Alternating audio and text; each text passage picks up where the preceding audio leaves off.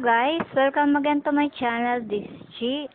Our Bible verse for today is Romans 5 verse 10. We were God's enemies, but He made us friends through the death of His Son. So that's it. Okay guys, today I will dance and sing Pwede Ba? Song by Mr. Willie Revillame. I tried to sing this song. Watch this.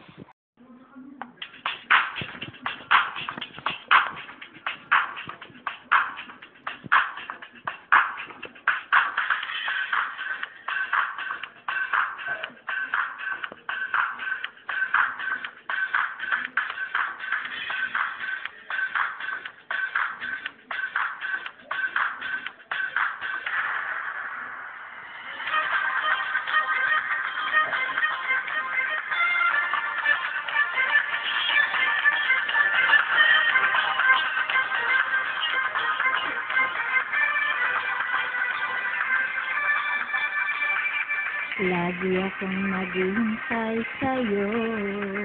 Nananabik na makasama mo. Lamang palagi ng isipan ko Ngayong gabi. Pinapangarap ko. Nakitang siklap ng iyong mata. Ang labi ng sabik na madama.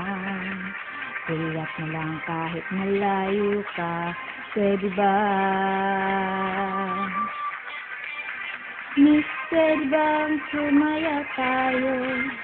Gusto lang malaman ang pangalan mo Huwag mong ipagkait ang kagustuhan ko Makilala ka at nakasama ka Oh, miss, pwede bang sumaya tayo?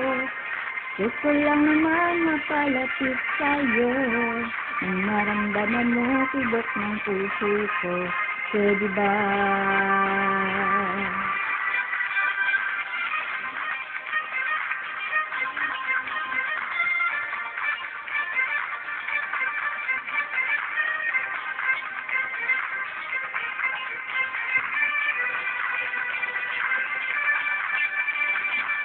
Sa piling mo ako'y nananabik Mayakap ka kahit isang saglit. Ihusawang siyang tinitintik Kailangan ko ang pag-ibig. Ikaw na ba ang kapalaran ko?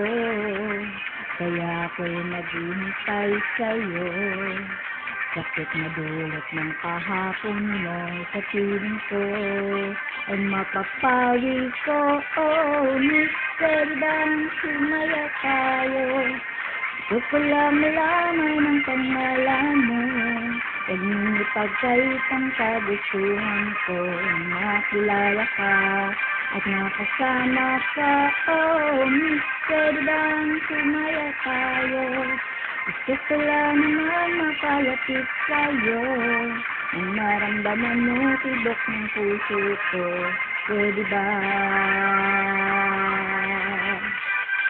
Pa pa pa para pa pa pa pa pa para pa pa pa pa para pa pa pa pa pa para pa pa pa pa para pa pa pa Miss, bang sumaya tayo? Gusto ko lang malaman ang pangalan mo Huwag mong ipagkait ang kagustuhan ko Na makilala ka at nakasama ka Oh, Miss, bang sumaya tayo? Gusto ko lang naman mapalapit sa'yo Nang naramdaman mo tibok ng puso ko Pwede ba? Miss, pwede ba sumaya tayo? Gusto lang malaman ang pangalan mo Huwag mong ipagkait ang kagustuhan ko Na makilala ka at nakasama ka Oh, Miss, pwede ba sumaya tayo?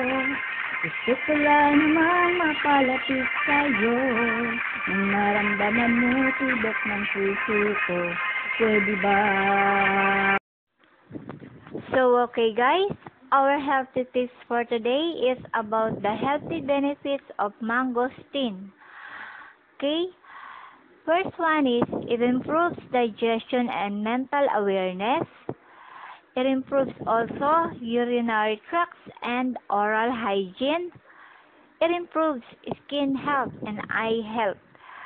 It prevents kidney stones and hypertension, fights heart disease, boosts energy, depression and allergies, lowers cholesterol, prevents diabetes, and the last one is helps to lose weight.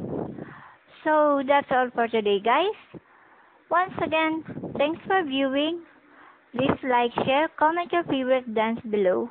Click the bell button for my upcoming videos and subscribe. Have a good day. God bless us all. Bye bye.